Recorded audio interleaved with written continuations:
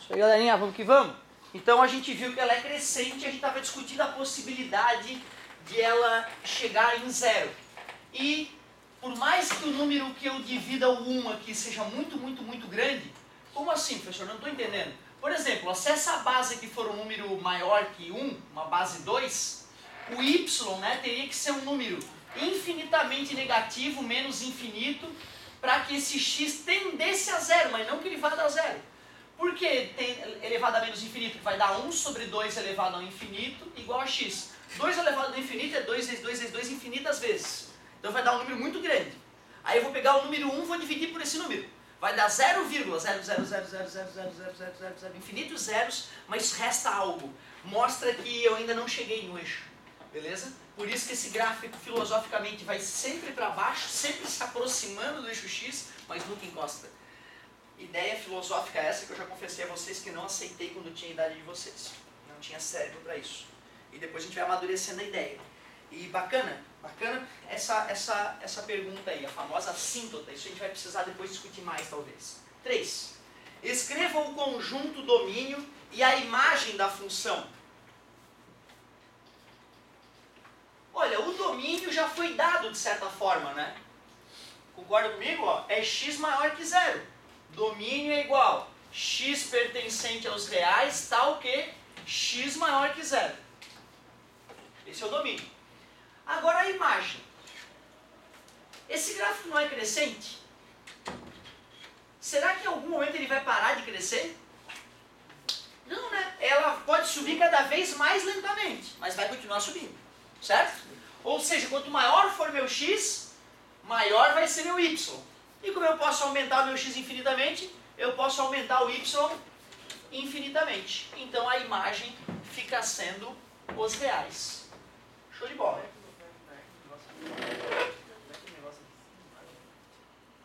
A imagem é o eixo y. Isso é o contradomínio. Foi uma coincidência. Isso foi só uma coincidência, não vai ser imagem sempre. Tá? Isso é importante ficar claro. Isso desse igual a isso foi mera coincidência. Tá? Esse outro não. Isso aqui tem que ser o domínio mesmo, mas aquele outro não. Ótima observação para enriquecer a aula. Muito bem. Depois, na página 15. Na página 15 a ideia era muito similar, só que a função logarítmica mudou um pouquinho. A tabela é a mesma, só que agora é log de x na base 1 sobre 2. Que curioso, né? Quando eu te apresentei função exponencial, eu fiz o gráfico da função 2 elevado a x e 1 sobre 2 elevado a x, que são as duas mais bobas. E aqui o cara está fazendo os dois gráficos mais simples que existem. Log de x na base 2 e log de x na base 1 meio. O x não mudou, só vai mudar o nosso y. Podemos aproveitar o mesmo plano cartesiano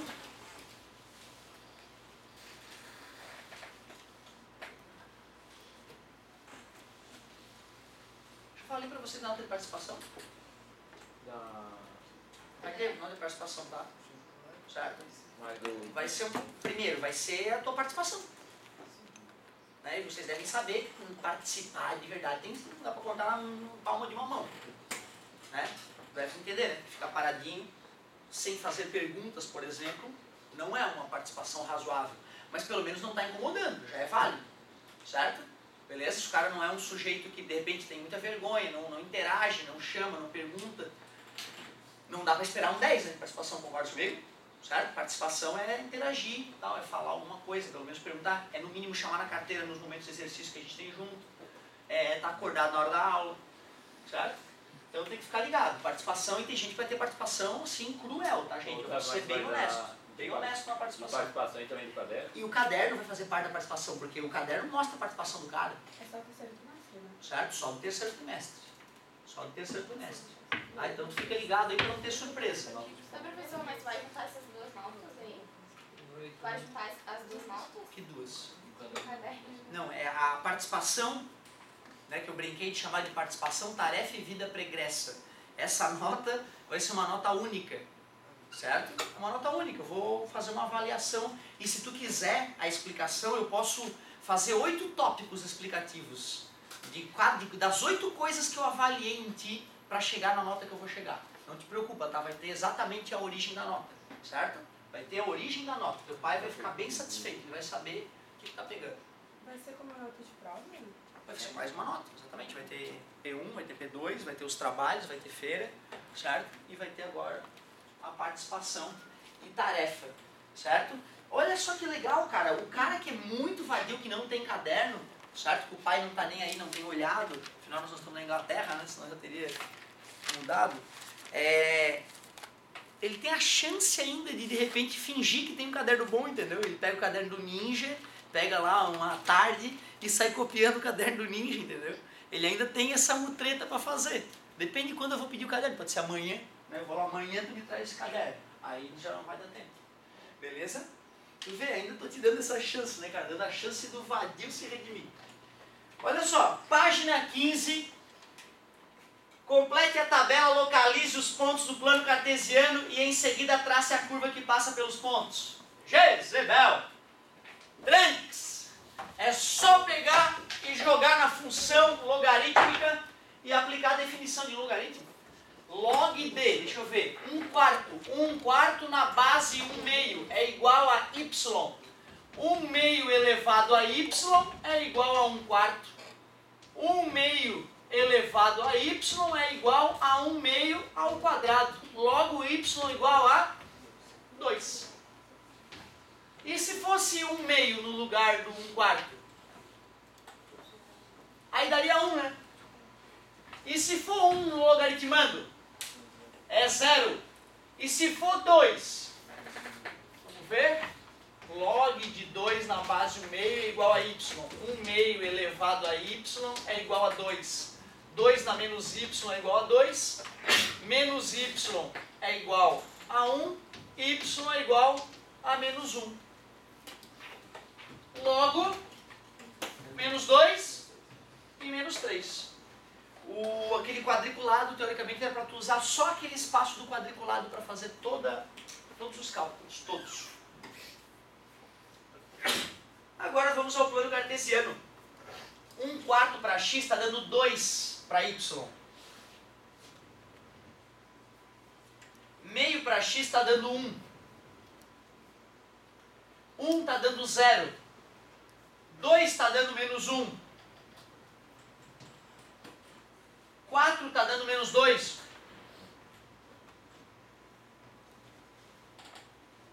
E 8 está dando menos 3.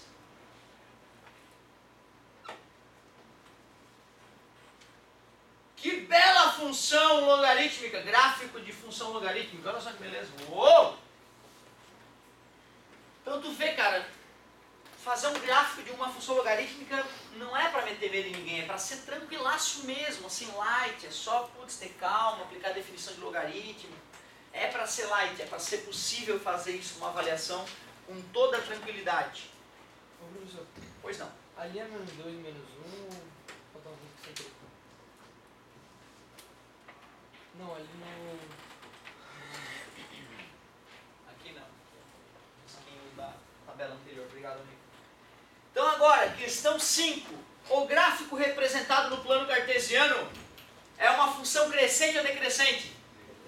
Nitidamente, na medida que x aumenta, y diminui. Decrescente. Este gráfico intersecta o eixo das ordenadas. Mais uma vez, ele aproxima, aproxima infinitamente, vai aproximando até o infinito e aproxima aproxima e nunca encosta. Não. 6.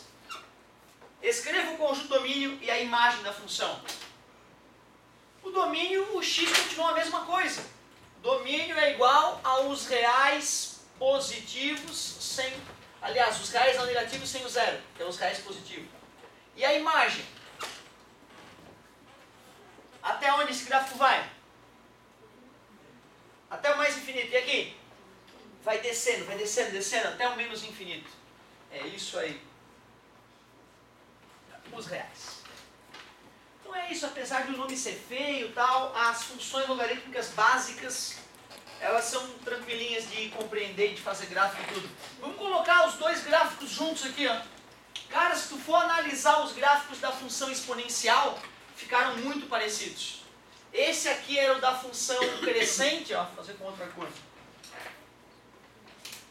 Esse aqui era o da função crescente, ó.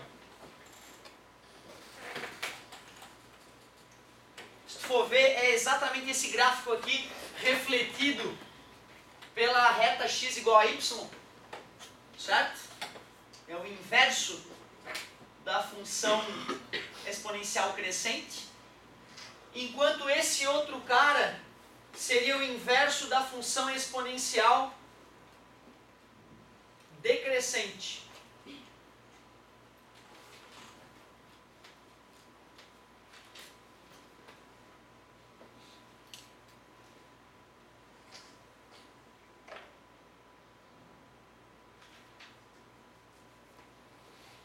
Que medo? Um meio elevado a x. Quero fazer o esboço desse gráfico. Quando dá zero, dá 1. Um. Tá aqui. Quando dá 1, um, dá meio. Quando é 1, um, dá meio. Quando dá 2, dá 1 um quarto. Então vai descendo. E aqui é que vai crescendo. Isso aí. Então, isso aqui.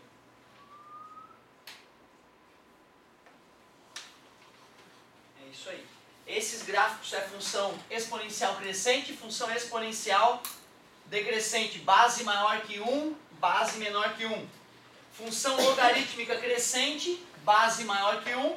Função logarítmica decrescente, base menor que 1. É isso aí. Show de bola. O que mais que eu passei?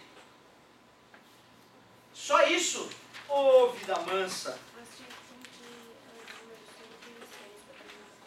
Ah, ótimo. 5 e 6 da página 14. Vamos lá. Quase acabando.